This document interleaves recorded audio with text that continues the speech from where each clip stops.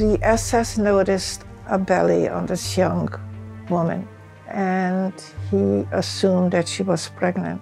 I don't know whether he asked her or not because I didn't hear. I just saw him motion to someone to bring a wheelbarrow. They brought the wheelbarrow and they ordered her to get into the wheelbarrow. And I remember her face. She didn't fight. She didn't cry. She was wheeled out of the, of the camp and the wheelbarrow came back empty after a few minutes. And that was the end of her.